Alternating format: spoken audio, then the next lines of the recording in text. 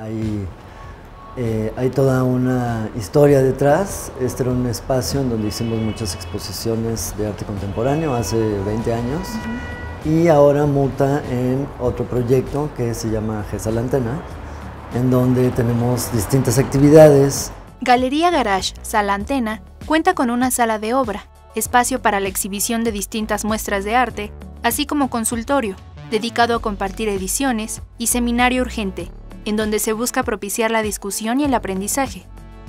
El también codirector y artista visual, Arturo Hernández Alcázar, señaló que tras varios años planeando la reconfiguración de lo que fue Garage, al fin se hizo realidad G, Sala Antena.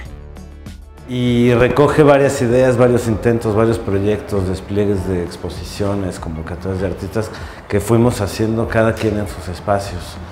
Incluso la selección de artistas también, hay artistas que colaboraron con Garage desde hace muchos años. Explicó que esta coyuntura obliga a replantear el sistema de las galerías dentro de una misma, entonces lo que nosotros decimos es, no vamos a plantear exposiciones, sino despliegues de obra, en donde la obra se vuelve un dispositivo que nos obliga a reunirnos a discutir. Y entonces se casan con los seminarios. Muchos de los artistas que participarán también van a participar en el programa de seminarios, que apelamos a la idea de reunión y de si tú estás invitado a una reunión, ¿qué vas a traer?